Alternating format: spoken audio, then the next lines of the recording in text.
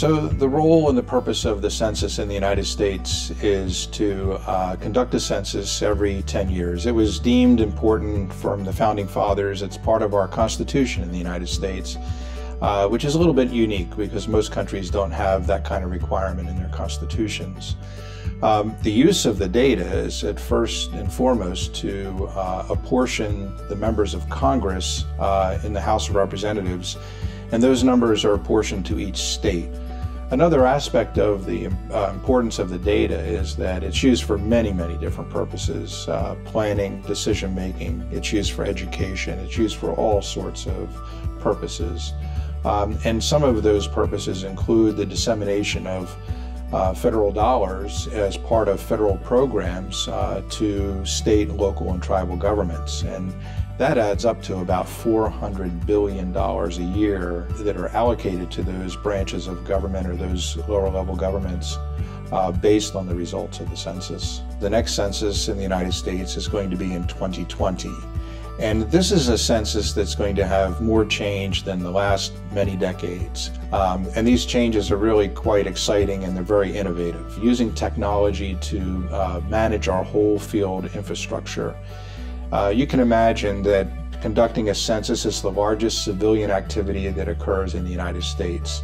In the 2010 census, we hired over 600,000 people to find the folks that did not respond to the last census. And in those cases, we do that over a very short period of time because we only have so much time to actually tabulate the data and deliver that to the President of the United States. So, in order to conduct that field work, uh, we have to make assignments and we have to give direction and we have to have uh, various levels of supervisory control to be sure that the job is done well. With mobile technology, with geospatial data, uh, with uh, navigation information, with workflow management, all of those factors are playing into the field reengineering component for the census. And so now uh, we don't necessarily have to have one-on-one meetings with supervisors and field listers to go out and do that work or field enumerators. Uh, they can get, uh, receive their assignments uh, that are pushed to them via the internet and via the wireless environment.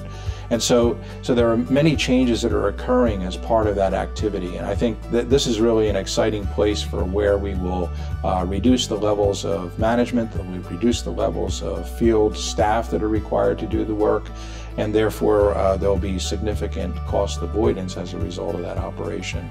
If you go back to the 2010 census, it was over $12 billion to conduct the census. Uh, if we were to do it the same way in 2020, it would be over $17 billion.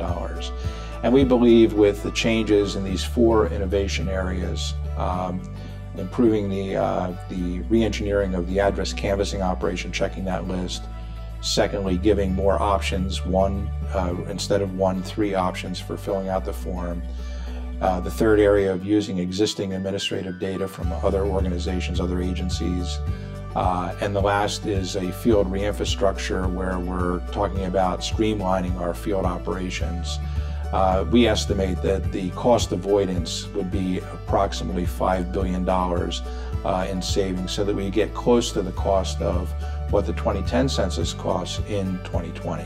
So I think that's quite an achievement if we're able to, to meet that requirement. One of the challenges uh, throughout the life cycle of geospatial information has been uh, a challenge of integrating data. Um, in our system in the United States uh, Census Bureau, um, we basically are a data aggregator and then we integrate that data into a single database.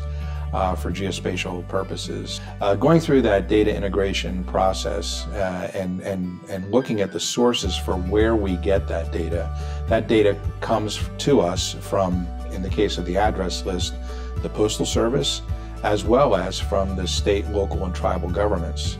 The road data also comes from the state, local, and tribal governments, and the boundaries come from the state, local, and tribal governments. So how do you integrate all of that information? Um, we've been looking for tools uh, throughout time, and, and uh, several organizations have developed their own tools to the greatest extent. Same as, as the Census Bureau, we've developed our own tools to try to integrate that data, but it's a very manual process. It takes a long time to deal with that level of data. Um, So uh, there are uh, technologies now that are coming online that are starting to automate that process and make that a much more streamlined activity.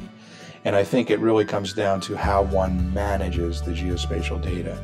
And so tools like those that are offered by 1Spatial are helping to uh, make that a, a, a, viable option now as we move forward into this massive uh, data management responsibility. Uh, one of the things that we learned in our engagement with 1Spatial over the years has been that uh, the approach for uh, how we go about our data management uh, is different than what we've done in the past. And so I think that we're seeing some real improvements in uh, streamlining our processes. Um, we have be, been able to manage our data in a more efficient and effective way. And I think that at the end of the day, that helps in meeting the objectives that uh, we talked about, benefits coming forward in the 2020 census. Everything we do in the census uh, has some type of geographic component to it. There are 34 different operations in the census, and most of those uh, are dependent on geography uh, that we manage in the geography division uh, to, con to conduct our work.